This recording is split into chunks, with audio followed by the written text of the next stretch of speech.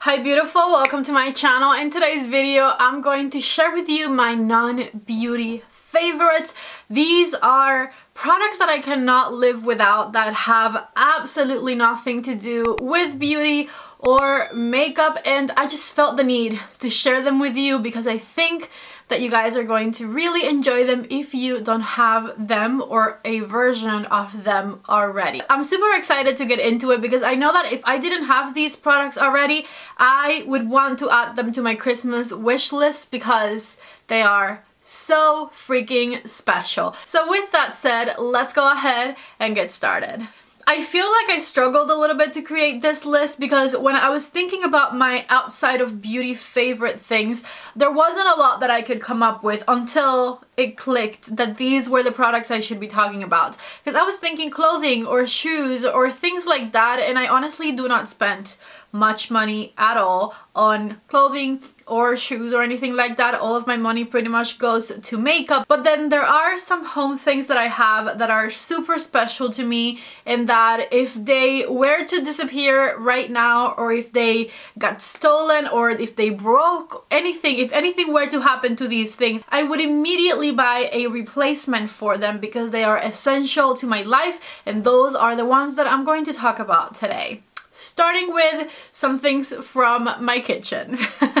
As some of you may know, I am Cuban, born and raised, lived there till I was 15, and an essential part of the Cuban culture is el cafecito, meaning espresso, coffee. Usually in Cuba what we drink is kind of like a dark roast espresso with sugar, straight up, no creamer, no nothing. Sometimes we make a cortadito, which means putting a little bit of milk in it. Very, very simple stuff, but delicious. And so from the moment I was little, you know how here people like don't give kids sugar and don't give kids like um, chocolates or coffee because they get too hyper? When I tell you I was probably drinking milk with coffee from like two years old and on, I am not lying. And that is the reality for a lot of Cubans. So coffee tastes like home. And the reason we drink our milk with coffee flavor even when we are toddlers is because coffee is a lot more readily available than chocolate is and so instead of flavoring the milk with chocolate we flavor it with coffee anyways I don't know why I just said that story but I feel like that's just the way it works in Cuba I've been drinking coffee from when I was a toddler and I don't necessarily think I'm addicted, like I've gone without drinking coffee for months, but I just really like it. It's special, it makes me happy. I love coffee and essential to my coffee routine is a really good coffee machine. Now, there are a lot of really nice espresso machines. I usually get mine from Amazon. The one that I currently have downstairs I cannot find on Amazon at all. I think it's been discontinued. Whenever it breaks, I have to replace it. And so since I cannot recommend the exact one that I have, I'm going to recommend the one that I would definitely get if mine broke. And that is this one right here from Breville. I looked up reviews, saw videos. It pretty much works exactly like the one I have, but it's a tiny bit fancier now, it is a pretty penny and when I first saw it, it was like half off. I think I might have been looking at it on Cyber Monday and now it's back to its original price. Anyways, this coffee machine looks spectacular. I absolutely love it and very, very similar to the one that I have downstairs. Now, the one I have downstairs was probably like 250 This one's a little bit more expensive, but just like mine, it is an excellent espresso machine with little to no wait time to brew your coffee. Mine heats up right away and it's one of the ones where you don't have to buy the whole coffee beans. You can just buy the ground beans to put in it, which I really like because this is, I brought it upstairs for you. This is the coffee that I drink. I will also link it below if anyone wants to try it. This is Cafe Bustelo. This is made in Miami. It is um, dark roast um, ground espresso beans, right? I'm assuming that's how you say that. Anyways, this right here tastes absolutely delicious. I usually drink it with a little bit of sugar, maybe a splash of milk or just the sugar on its own. Sometimes my husband puts condensed condensed milk in my coffee and it's so freaking good. Anyways, As you can see, I love coffee as much as I love makeup. I'm getting just as excited about it over here. And so if you don't have an espresso machine at home, I highly, highly recommend it because, let me tell you why. How much money do you spend on Starbucks? And what's special about Starbucks? Nothing. They just make espresso coffee. And they put milk or sugar or sweeteners or whatever in it to give it flavor. And so with an espresso machine at home, you can make it yourself at home very easily and you don't have to spend as much money as you spend going to Starbucks every day. You know, that's how you justify the price. You can get your creamer, you can get your sweetener, and you can make your favorite type of coffee at home every single day because all it takes is having an espresso machine at home with you to compete with your local barista. I think I've gone on about my love for espresso coffee enough.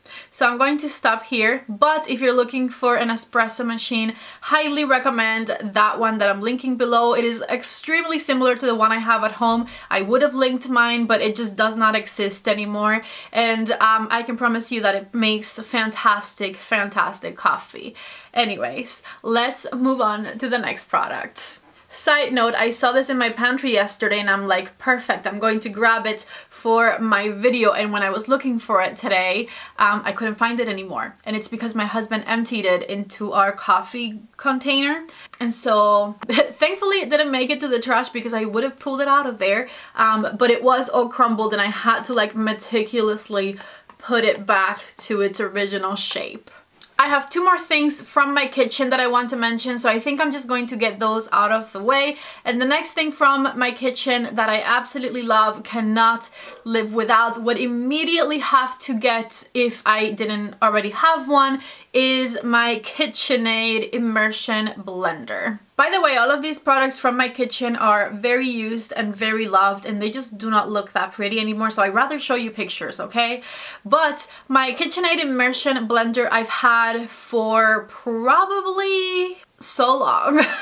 I feel like we got it when Gabriel first came from Cuba and that was in October of 2012. So we've had it for nine years already. I also could not find the exact one that I have. I found the same brand, but that's only because KitchenAid has made them better since.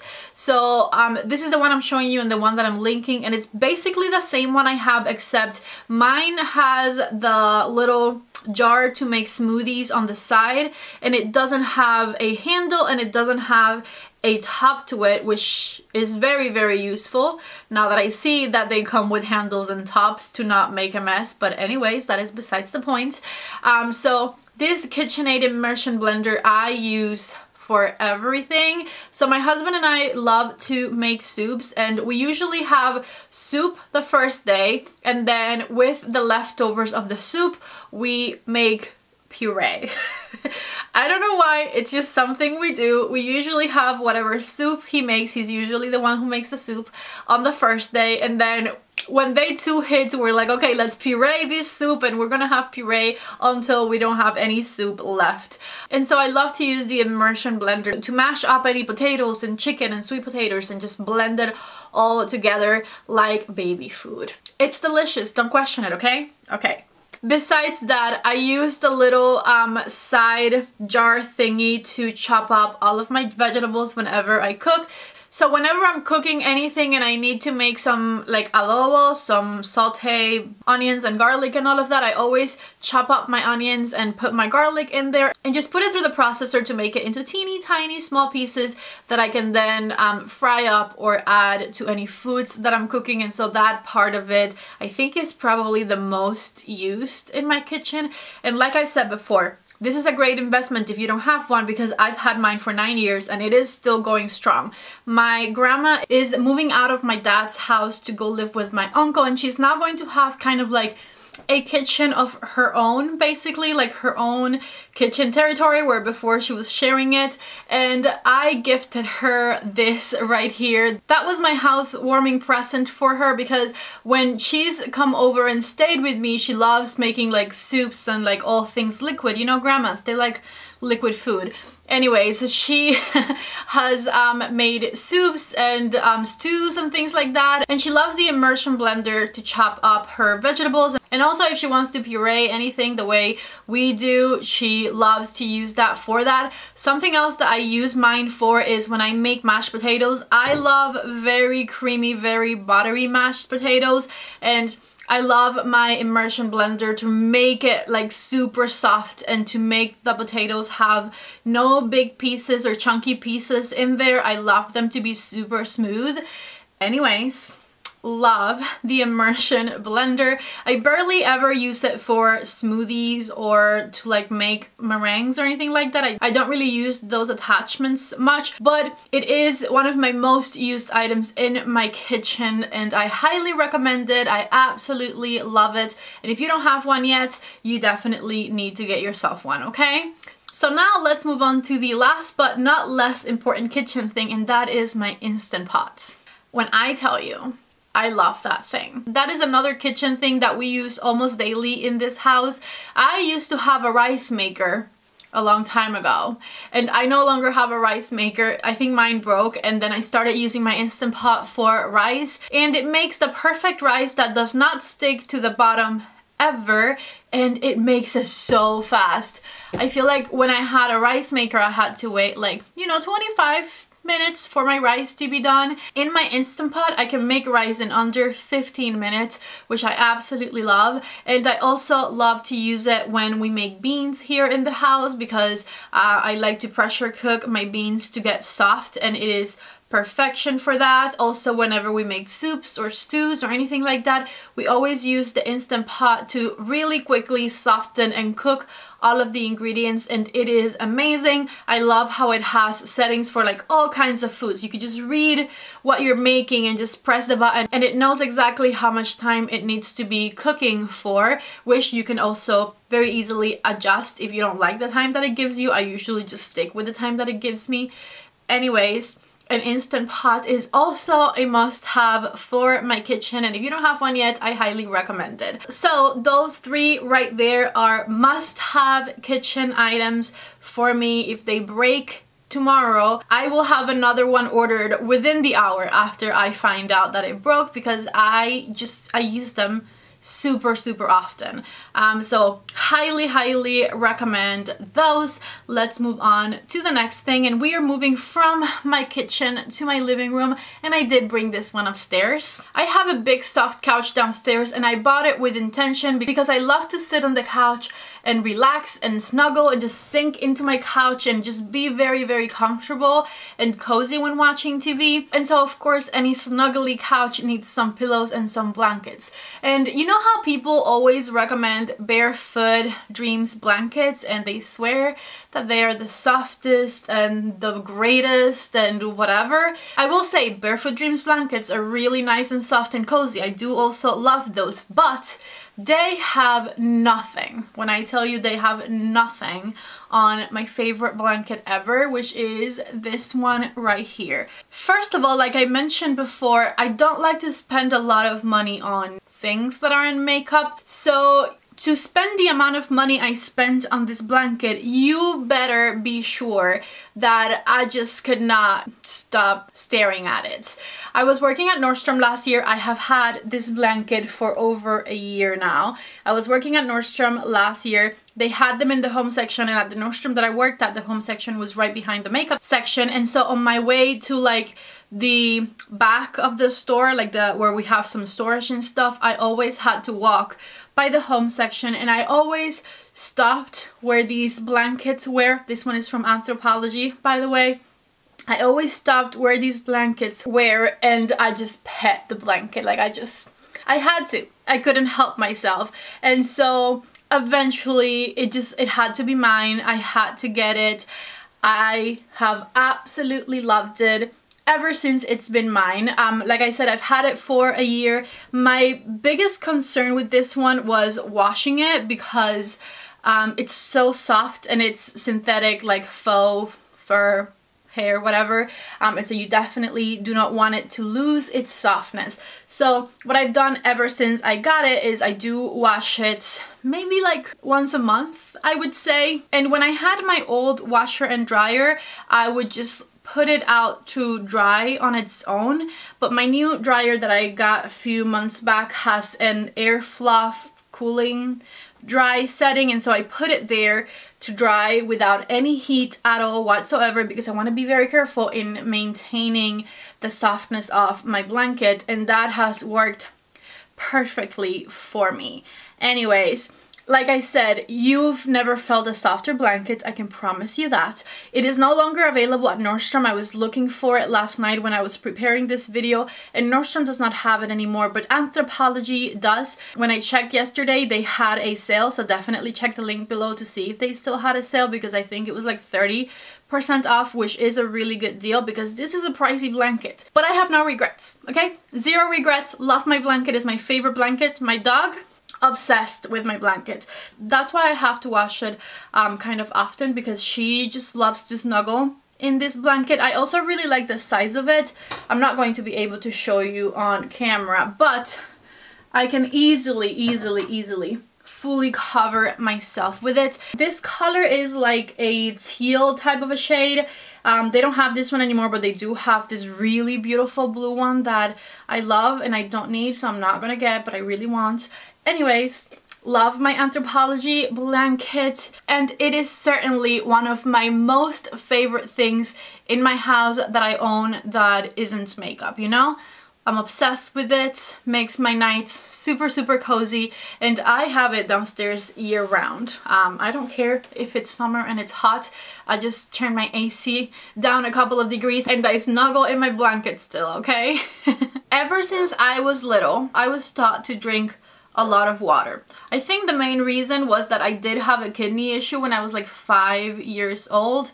I remember passing out from how much it hurt and so ever since I've just been told by my mom and my grandma that I need to drink lots and lots of water and so a water bottle is something that is important in my life because I drink so much water that usually if I go to a restaurant I ask for a cup of water they bring you the tiniest little cup ever. I immediately have no water left and then it takes them forever to refill it. Like if I go to a restaurant and I ask for water I want to have the pitcher because I'm going to drink a lot of it anyways with that said this right here has been the best investment I've made since I quit my job. And I'm saying since I quit my job because I had a gallon of water that I would take to work with me and I would drink it daily, right?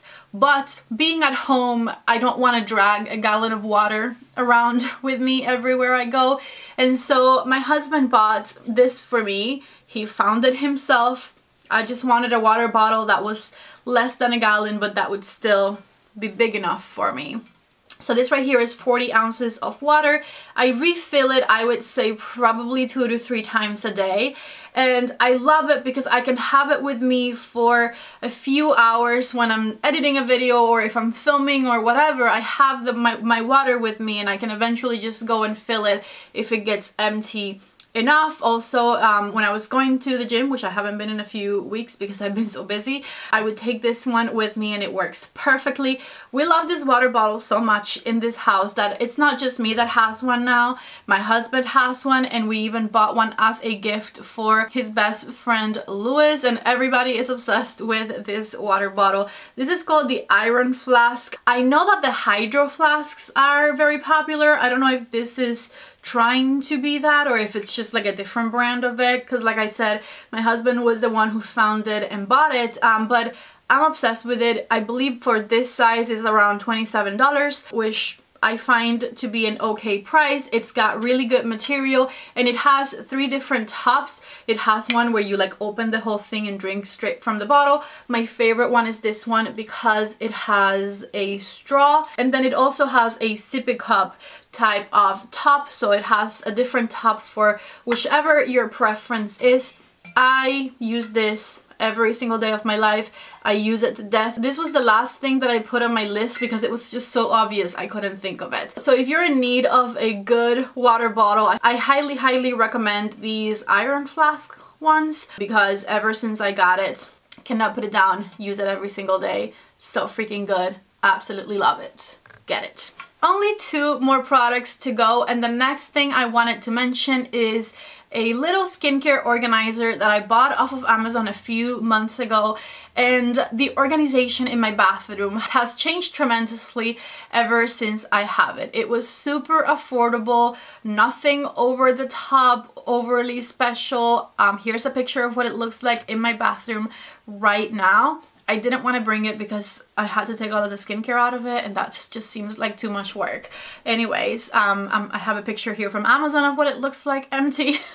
I can fit a lot of skincare in there and I feel like before I had my nighttime routine kind of like spread all over my bathroom counter and my bathroom counter was always just the biggest mess ever and ever since I bought that little organizer I have everything in it everything has its place its inner corner um, I have a lot more free counter space than I had before. It looks cute in there. It was super affordable. And so if you don't have one of those, I do highly recommend this one. Like I said, it's super, super affordable and it just is going to change the way that your bathroom is organized if you, like me, have your skincare all over the place. So honestly, not much more to say about that one. It's just like a really nice organizer. It helps me keep my skincare all in one place. And so if you don't have one of those, trust me, you need one because it just made everything look so much prettier and so much organized than it did before. And then last but not least, I had to mention this because this was probably, this is actually, this is, I think, is it? Okay, I made up my mind. This is in my top two Christmas gifts I've ever received from my husband. Um, another one I also really love is this chain right here. I got this for Christmas a few years ago and I'm obsessed with it. I absolutely love it. But the other really good Christmas present he's given me that, you know, it's not like I loved it in the moment. It's one of those that I will cherish forever is this right here. Let me go grab it. Ugh this right here. This is my collection of Harry Potter books. As you can see, there is one missing from there because I'm currently um, rereading them for the who knows what amount of time. Um, if you have any Harry Potter lover in your life, this is going to be the best Christmas present ever and especially I have a lot of friends that love Harry Potter but they've only ever watched the movies Personally, I don't think they love Harry Potter enough if they haven't read the books, but that's just my opinion. So if you know somebody like that, um, and you love them enough to get them a very, very nice Christmas present, this right here would be my recommendation. These are all the hard covers of the Harry Potter books. Also, if you have any kid in your life that loves reading, um, I would definitely gift them the Harry Potter books. I am a 30 year old now and I have been obsessed with Harry Potter since I was like 11 or 12 and I don't see it going away anytime soon, okay? Um, I don't have any shame in admitting that. I will reread these books forever because I find them to be very magical and very special. Also, I feel like my memory is not that good when it comes to like detailed stuff. So whenever I reread these books, I like rediscover things that I forgot about, which is great. And so if you have a Harry Potter lover in your life who doesn't have the book collection, highly recommend it. If you love Harry Potter and you don't have the collection of the books, highly recommend it. If there's any kid in your life who you want to introduce to the Harry Potter books, highly recommend it. Okay, I put it down. That was heavy. Anyways, um, that is my last recommendation. That is the last thing that I could think about that I have around my house that is a treasure to me. um, like I said, top two um, Christmas presents my husband has ever given me because he knows I'm obsessed with Harry Potter. Okay, so that is it. That is all I have for this video. If you liked it, don't forget to please give it a thumbs up before you leave. If you haven't subscribed to my channel yet, we usually talk about makeup on this channel, but today I just wanted to bring you a little bit of a different video. So please subscribe before you leave. Of course, the links to everything I talked about today are going to be down below in the description box. I love you guys so, so much. Thank you for being here, and I hope to see you back in tomorrow's video. Bye!